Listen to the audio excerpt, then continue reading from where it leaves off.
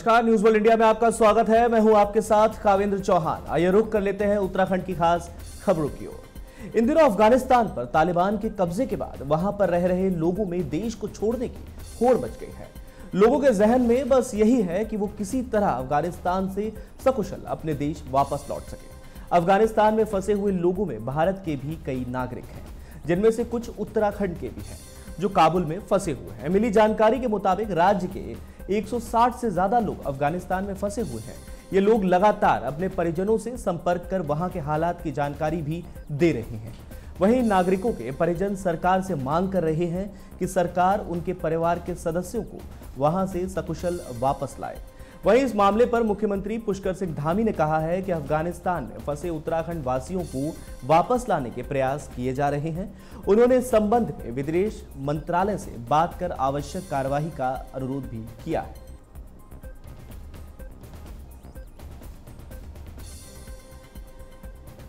मुझे एक महीना हो चुका है उस वक्त माहौल काफ़ी बेहतर थे वहाँ के। अब इस वक्त माहौल माहौल बहुत खराब हो चुका है वहाँ का तो सरकार से यही अनुरोध है कि जो हमारे साथी उधर पे फंसे हुए हैं उन्हें जल्दी से जल्दी रेस्क्यू करके इंडिया वापस अपने देश लेके आए। आज जब आप आए थे उससे पहले क्या स्थितियाँ थी? स्थितियाँ तो उधर का माहौल बहुत नॉर्मली था इतना कोई समस्या नहीं थी वहाँ पर कोई डर नहीं था। कंपाउंड में हमारी जो ड्यूटी होती थी हमारी ड्यूटी ठीक ठाक चलती थी उधर पे कोई समस्या नहीं थी उस वक्त वहाँ पर। देखिए हमारे हज़ारों भारतीय जो हैं हमारे अफ़गानिस्तान में फंसे हैं और उनकी सकुशल सुरक्षित वापसी की मांग उसके समर्थन में हम यहाँ आज पासपोर्ट कार्यालय में उपवास पर बैठे हैं। हमने माननीय प्रधानमंत्री जी के नाम, माननीय विदेश मंत्री के नाम एक ज्ञापन पासपोर्ट अधिकारी जी को दिया है, जिसमें हमने उत्तराखंड के लोगों की सूची भी उन्हें उपलब्ध कराई है जो हम सूची प्राप्त कर सके। और हमारी सीधे मांग है कि प्रधानमंत्री जी, विदेश मंत्री जी डिप्लोमेटिक चैनल का उपयोग करें या अंतर्राष्ट्रीय जो भी मंच है, उसका उपयोग करते हुए और हमारे भारतीयों की, उत्तराखंड के जो लोग फंसे हैं, उनकी सकुशल सुरक्षित वापसी सुनिश्चित की जानी चाहिए। और उत्तराखंड के तेरह जिलों में नोडल अधिकारी की नियुक्ति की जाए, जो नोडल अधिकारी की ज़िम्मेदारी हो, जो लोग वहाँ फंसे हैं, उनके परिवार के लोगों से उनकी बातचीत कराए। यदि उन्हें कोई असुविधा है ठहरने की, खाने की, हवाई जहाज़ के टिकट की तो उनकी वापसी सुरक्षित कराने के लिए नोडल अधिकारी नियुक्त किया जाए। जैसे जैसे उत्तराखंड में विधानसभा के चुनाव नज़दीक आ रहे हैं, वैसे वैसे राजनीतिक पार्टियों के दौरे भी बढ़ने लगे हैं।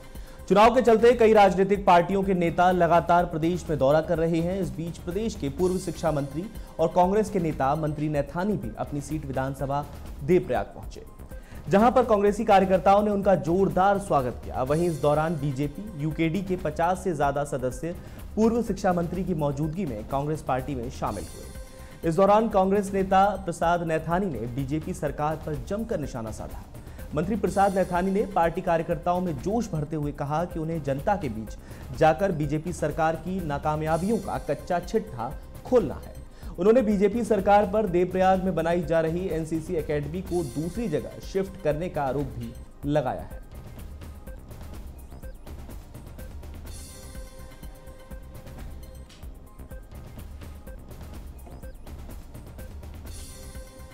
हरिद्वार के रानीपुर मोड़ स्थित बेसमेंट रॉयल प्लाजा में देवभूमि शूटिंग एकेडमी का शुभारंभ किया गया, जिसमें मुख्य अतिथि के तौर पर एसएसपी सैंथिल अबुदई कृष्णराज एस ने देवभूमि शूटिंग एकेडमी का शुभारंभ किया। इस अवसर पर SP railway doctor Manjunath TC और अन्य लोग भी मौजूद रहे। एसएसपी ने देवभूमि शूटिंग एकेडमी के प्रबंधक कोच योगेंद्र यादव की प्रशंसा करते हुए एकेडमी को प्रतिभाशाली बच्चों के लिए सही प्लेटफॉर्म बताया है। तस्वीरों में आप देख सकते हैं एसएसपी ने शूटिंग एकेडमी का शुभारंभ किया है।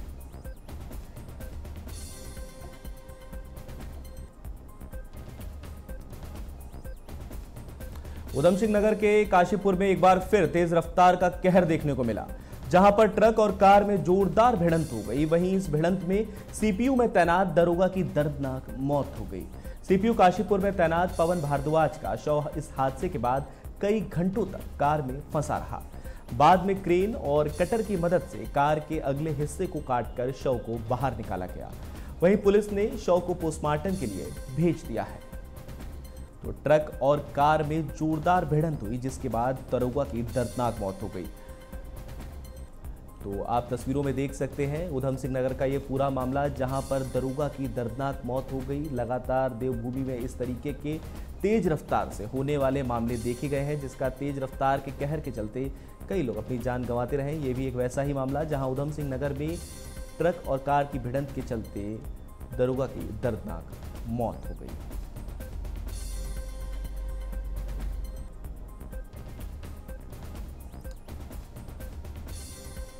देहरादून में आप पार्टी के नेता और उत्तराखंड में मुख्यमंत्री पद के उम्मीदवार कर्नल कोठियाल ने प्रेस वार्ता की है। वहीं पत्रकारों से बातचीत करते हुए कर्नल कोठियाल ने हरीश रावत और बीजेपी दोनों पार्टियों से सवाल पूछा।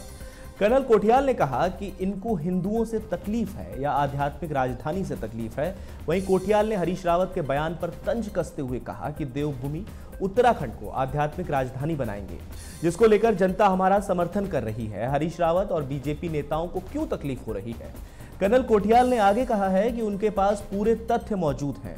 वहीं उन्होंने दोनों दलों को खुले मंच पर बहस की चुनौती भी दी है। और कहा है कि मैं एक साधारण आदमी हूँ, सरकार में आप लोग रहे हैं, फिर क्यों युवाओं को रोज़गार नहीं दिया गया?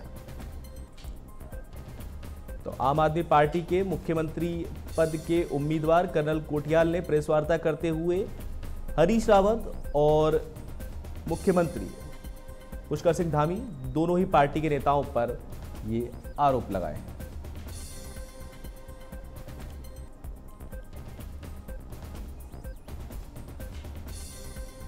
हरिद्वार में भारतीय जनता पार्टी के राष्ट्रीय अध्यक्ष जेपी नड्डा हरिद्वार पहुँच रहे हैं।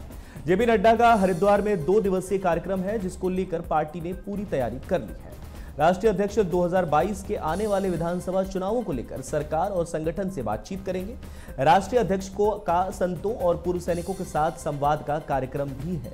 आने वाले चुनाव में पार्टी किन मुद्दों को लेकर जनता के बीच में जाएगी, इन बैठकों में उन पर मंथन किया जाएगा। चुनाव को लेकर सरकार के मंत्रियों और संगठन के पदाधिकारियों से बातचीत की जाएगी। मुख्यमंत्री पुष्कर सिंह धामी सहित पूरी कैबिनेट हरिद्वार में दो दिन मौजूद रहेगी। पहले दिन जेपी नड्डा मुख्यमंत्री और कैबिनेट में शामिल मंत्रियों से बातचीत करेंगे। दूसरे दिन विधायक, सांसद और प्रदेश में ज़िले के पदाधिकारियों से मुलाकात करेंगे। वहीं राष्ट्रीय अध्यक्ष जेपी नड्डा के स्वागत को लेकर पार्टी ने ज़ोर शोर से तैयारियाँ शुरू कर दी हैं।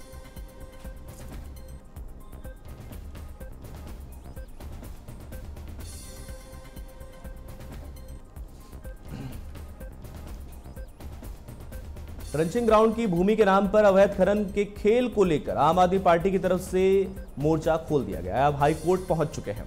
आम आदमी पार्टी के प्रदेश उपाध्यक्ष दीपक बाली ने नगर निगम काशीपुर की तरफ़ से अवैध रूप से खनन की अनुमति और ट्रंचिंग ग्राउंड के नाम पर खेले गए कागज़ी खेल के खिलाफ जनहित याचिका दायर की है। वहीं हाईकोर्ट ने इस याचिका को स्वीकार करते हुए इस मामले में आगे सुनवाई की तारीख भी तय कर दी है। जिसके बाद नगर निगम और घोटाले के इस पूरे खेल से जुड़े लोगों में हड़कंप मच गया है। तो हाईकोर्ट पहुँच चुका है ये पूरा घोटाले का मामला। आपको बता दें, काशीपुर का ये पूरा मामला है, जहाँ पर अवैध रूप से होते खनन के बीच आम आदमी पार्टी के नेता ने अब जनहित याचिका दायर कर दी है, जिसके चलते खनन में लिप्त लोगों के बीच हड़कंप मच गया है। ट्रंचिंग ग्राउंड की भूमि के नाम पर अवैध खनन किया जा रहा था और इस खेल को अब आम आदमी पार्टी के नेता ने इसके खिलाफ मोर्चा खोल दिया है, वो हाईकोर्ट पहुँच गए हैं। आपको बता दें कि आम आदमी पार्टी के प्रदेश उपाध्यक्ष हैं दीपक बाली। उन्होंने नगर निगम काशीपुर की तरफ़ से अवैध रूप से खनन की अनुमति और ट्रंचिंग ग्राउंड के नाम पर खेले गए कागज़ी खेल के खिलाफ अब जनहित याचिका दायर कर दी है। वो हाईकोर्ट पहुँच चुके हैं और उन्होंने इसे एक घोटाला बताते हुए जनहित याचिका दायर की है। और इसी के साथ आपको बता दें कि घोटाले में जो लोग शामिल बताए जा रहे हैं, उनके बीच अब हड़कंप की स्थिति है। पूरा मामला घोटाले का नज़र आता हुआ, जो कि अब हाईकोर्ट पहुँच चुका है और जनहित याचिका दायर कर दी गई है।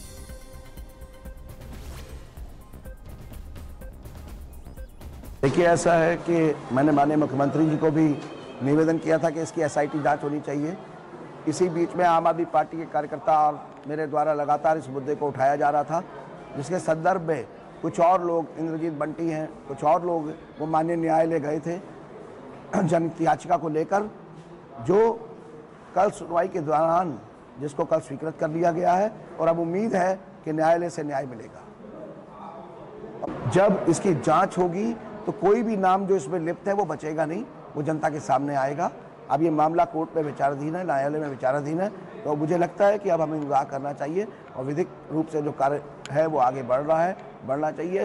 लेकिन अभी तो मैं सिर्फ़ ये कहूँगा कि महापौर को नैतिकता के आधार पर इस्तीफा दे देना चाहिए।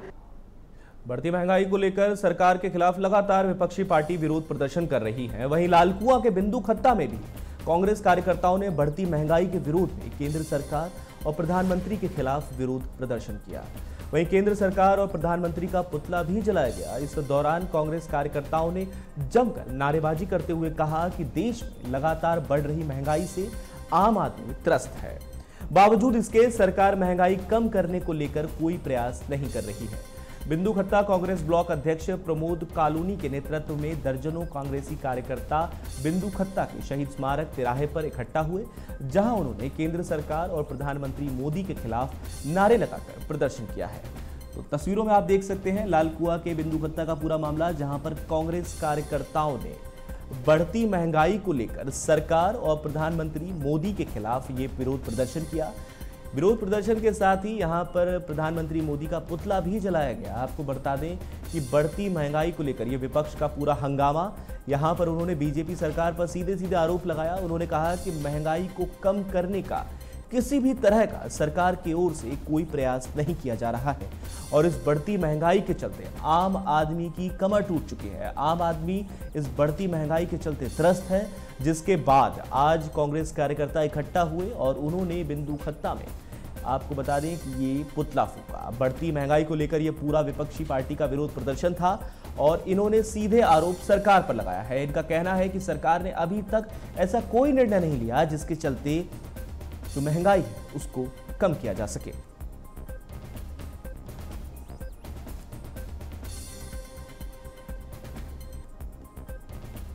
आज जो पेपरों में देख रहे हैं आप लोग कि भारतीय जनता पार्टी की जो केंद्र में सरकार है, प्रदेश में भारतीय जनता पार्टी की सरकार है, आज जो ऑयल मार्केटिंग कंपनी है, भारतीय सरकार के अधीन, उसने आज पच्चीस रुपये गैस के सिलेंडर के दाम के रेट बढ़ा दिए गए हैं। आप ये देख रहे हैं कि जनवरी माह से इस अगस्त के माह तक एक रुपये की जो निरंतर वृद्धि करी है। आज उसी के विरोध में यहाँ पर ब्लॉक कांग्रेस कमेटी बिंदु गुप्ता के नेतृत्व में यहाँ पर भाजपा सरकार का पुतला दहन किया गया है। और जैसा कि हम पहले भी इससे पहले हम भारतीय जनता पार्टी की सरकार को हम ये कह चुके हैं कि आपने जो लोगों से जो अच्छे दिन के वायदे किए थे और महँगाई को नियंत्रण करने का जो आपने वायदा किया था और लोगों को रोज़गार देने का जो वायदा किया था, आज आप उन वायदों में विफल हो गए हैं। और आज हम इस कार्यक्रम के माध्यम से आपको पुनः यह कहना चाहते हैं कि आपने अगर महँगाई पर नियंत्रण नहीं किया और देश की जो जनता के साथ जो आपने ये जो खेल खेला अगर इस पर आपने क्या कहते हैं, आपने कंट्रोल नहीं किया तो हम इसके लिए आपका विरोध प्रदर्शन करते रहेंगे। अध्यक्ष प्रमोद कलौनी जी के नेतृत्व में, यहाँ पर बिंदु खत्ता में हमने महँगाई के खिलाफ जिस तरीके से केंद्र की भाजपा सरकार ने आज गैस के दाम पच्चीस रुपए बढ़ा दिए हैं और ये लगातार कोविड के टाइम पर इस तरीके से रेट बढ़ रहे हैं, जिस समय लोग आर्थिक तंगी से जूझ रहे हैं और ऐसे समय पर उनका पेट्रोल का, डीजल का और तेल का, गैस का रेट बढ़ाना, ये सब जनता के साथ एक छलावा है और जनता के साथ ये जो छलावा भाजपा सरकार कर रही है, उसका आने वाले समय में जनता इसका उसको जवाब देगी और हम केंद्र सरकार से फिर कहना चाहते हैं, भाजपा सरकार से कि जो आपने गैस के दाम बढ़ाए हैं, इसको आपको तुरंत कम करना चाहिए। जब केंद्र में हमारी यूपीए सरकार हुआ करती थी, तब आपकी दो अभिनेत्रियाँ, जो आज सांसद बनी बैठी हुई हैं, वो हमारे माननीय प्रधानमंत्री मनमोहन सिंह जी के लिए चूड़ियाँ भेजा करती थी। आज कहाँ है। उनकी वो चूड़ियाँ? आज वो मोदी जी को क्यों नहीं दे रही है महँगाई के समय में चूड़ियाँ? और उनकी एक अभिनेत्री जो लोगों को दिखाने के लिए अभिनेत्री के रूप में गैस सिलेंडर लेकर के सर पे घूमा करती है आज उन्हें जनता की महँगाई दिखाई नहीं दे रही है। चलिए बुलेटिन में आगे बढ़ते हैं। अगली खबर नैनीताल से है। युवा कल्याण और खेल मंत्रालय भारत सरकार से मिले निर्देशों की कड़ी में। पूर्व प्रधानमंत्री स्वर्गीय राजीव गांधी के जन्मदिवस के उपलक्ष्य में जिला कार्यालय, मंडलायुक्त कार्यालय सहित ज़िले के तमाम कार्यालयों में सद्भावना दिवस प्रतिज्ञा ली गई। जिला कार्यालय में जिलाधिकारी धीरज सिंह गरबयाल ने मंडलायुक्त कार्यालय में मुख्य प्रशासनिक अधिकारी हरीश लाल वर्मा कार्मिकों को सद्भावना दिवस प्रतिज्ञा दिलाई। वहीं कार्मिकों की तरफ़ से प्रतिज्ञा ली गई कि जाति, संप्रदाय, क्षेत्र, धर्म या भाषा का भेदभाव किए बिना सभी देशवासियों की भावनात्मक एकता और सद्भावना के लिए कार्य करेंगे। तस्वीरों में आप देख सकते हैं पूर्व प्रधानमंत्री स्वर्गीय राजीव गांधी की जन्म दिवस पर एक प्रतिज्ञा समारोह कार्यक्रम का आयोजन किया गया, जहाँ पर तमाम लोगों ने प्रतिज्ञा ली कि वो देश की एकता और सद्भावना के लिए कार्य करेंगे। तस्वीरें आपकी टीवी स्क्रीन पर, जहाँ जन्म दिवस के उपलक्ष्य पे स्वर्गीय पूर्व प्रधानमंत्री राजीव गांधी का जन्म दिवस था। उसके उपलक्ष्य में जिला कार्यालय, मंडलायुक्त कार्यालय सहित ज़िले के तमाम कार्यालयों में ये सद्भावना दिवस प्रतिज्ञा ली गई है, जिसमें कहा गया है कि देश की एकता और सद्भावना के लिए सभी काम करेंगे।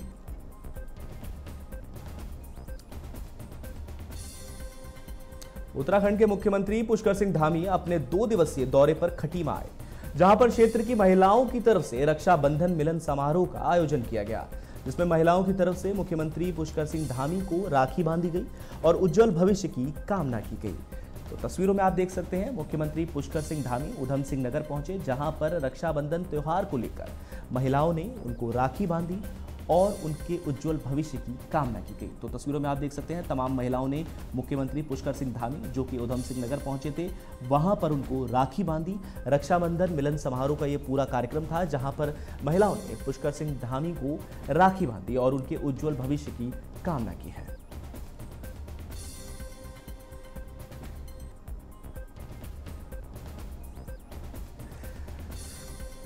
तो आपको बता दें कि रक्षाबंधन का त्यौहार जो नज़दीक आ रहा है, उसको लेकर ये पूरा कार्यक्रम रखा गया था और इस बीच महिलाओं ने बड़ी संख्या में ये कार्यक्रम में पहुँची।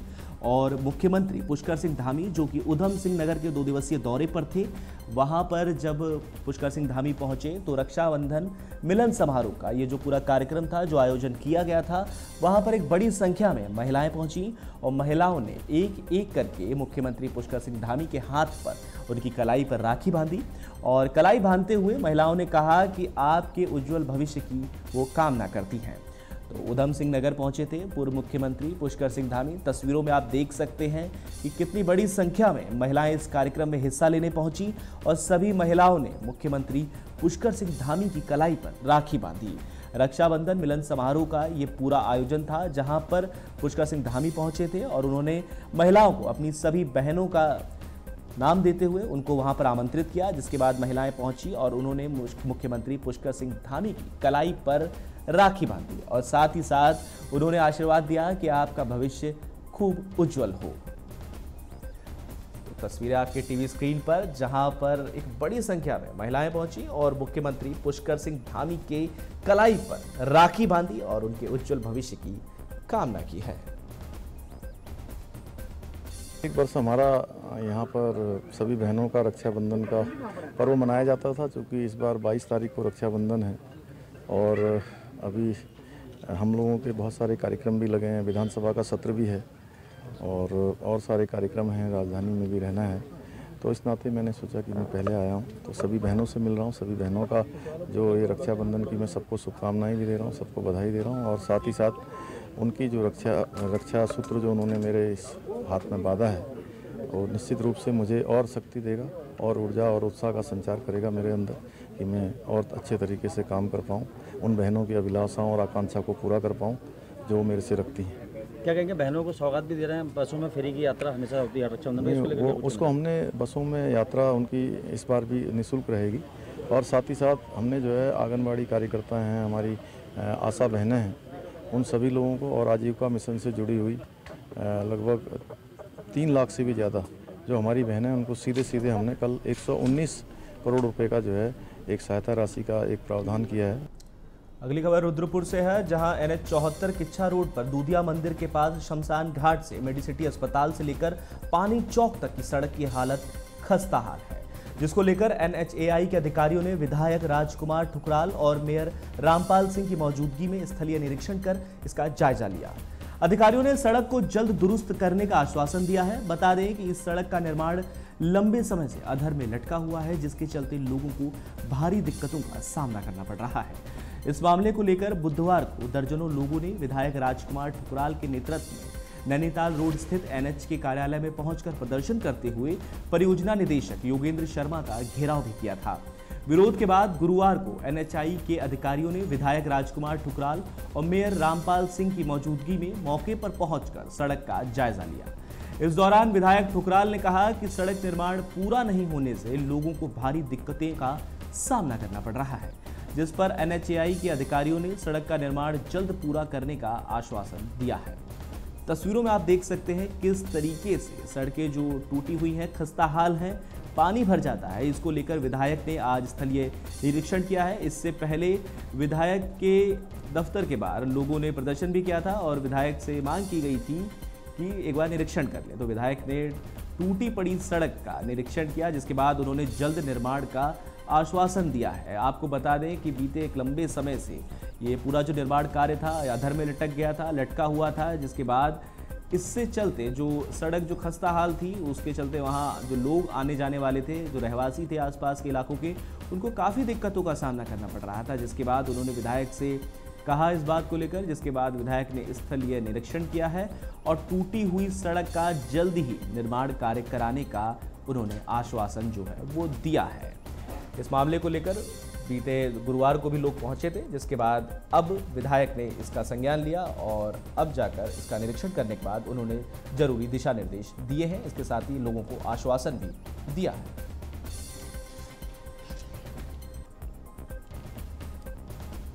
रुड़की में गंगनहर किनारे स्थित सोलानी पार्क में उत्तराखंड के पूर्व मुख्यमंत्री त्रिवेंद्र सिंह रावत ने हरेला पर्व के चलते पौधारोपण किया है। वहीं बताया गया है कि उनका लक्ष्य हरेला पर्व पर दस हज़ार पौधे लगाने का है। बता दें कि हरेला पर्व के चलते बीजेपी की तरफ़ से सोलानी पार्क पर एक पौधारोपण का कार्यक्रम आयोजित किया गया, जिसमें पूर्व मुख्यमंत्री त्रिवेंद्र सिंह रावत ने पहुंचकर पौधारोपण किया। इस अवसर पर त्रिवेंद्र सिंह रावत ने कहा कि हरेला पर्व पर इस बार उत्तराखंड में हमारा लक्ष्य एक लाख पौधे लगाने का है, जिसके चलते दस हज़ार पौधे सिर्फ़ हरिद्वार ज़िले में लगाए जाएँगे। तस्वीरों में आप देख सकते हैं, सोलानी पार्क के पास ये पौधारोपण का कार्यक्रम किया गया, जिसमें रुड़की का ये तस्वीरें रुड़की से सामने आ रही हैं।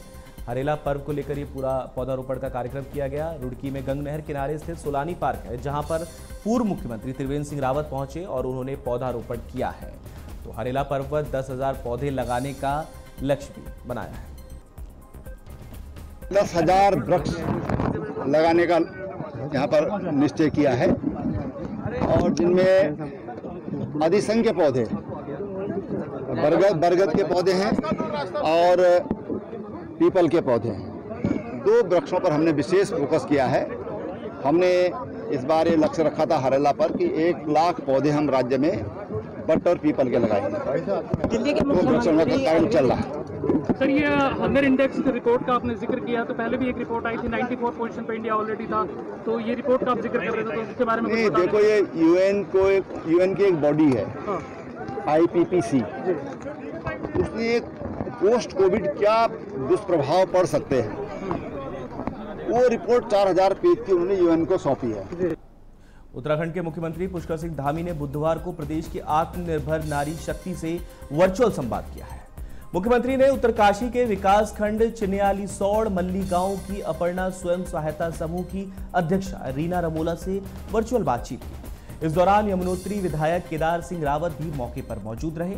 ब्लॉक सभागार चिन्याली सौड़ में आयोजित कार्यक्रम में अपर्णा स्वयं सहायता समूह की अध्यक्षा रीना रमोला की तरफ़ से मुख्यमंत्री को कार्यों के बारे में अवगत कराया गया। उन्होंने बताया कि एनआरएलएम के तहत हमारे समूह ने एलईडी लाइट बनाने का प्रशिक्षण भी लिया है। 50 से 60 महिलाएँ सशक्त होकर एलईडी लाइट, झालर, लड़ियाँ, बल्ब आदि बनाने का कार्य कर रही हैं।